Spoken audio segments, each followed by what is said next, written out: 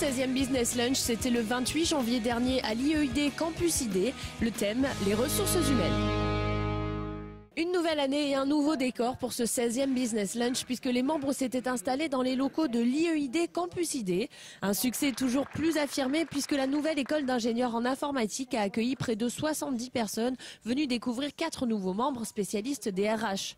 Tous ont rappelé l'importance de bien gérer le capital humain au sein de l'entreprise et l'enjeu économique que cela représente.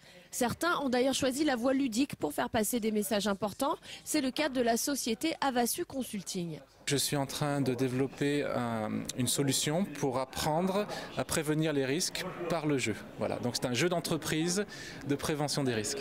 Dans un registre complètement différent, Télécom Valley compte désormais parmi ses membres une ONG, la Ligue contre le cancer. L'association a fortement insisté pour intégrer la communauté innovante de Sofia, parce qu'en matière de prévention, il reste encore beaucoup à faire.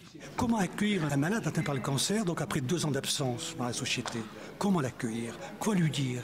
On n'a pas appris donc à leur cadre, à leur directeur, comment gérer l'annonce d'un diagnostic de cancer quand le salarié donc le dit sur le lieu de travail.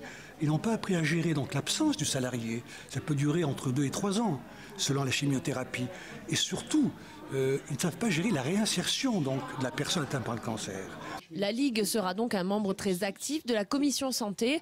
La dernière partie du Business Lunch était orchestrée en revanche par la commission emploi-formation, venue présenter le Talent Recruitment Toolkit. L'idée, c'est d'apporter euh, une boîte à outils euh, pour les TPE, PME principalement, afin qu'ils euh, puissent trouver dans cet outil toutes les informations pour bien recruter. Alors ça va des conseils dans la fiche de poste jusqu'au, jusqu'à une checklist pour le recrutement, jusqu'à des conseils sur des entretiens en fonction des profils. C'est vraiment très très très complet et très facile d'accès. L'outil indispensable du parfait recruteur sera disponible très prochainement en téléchargement.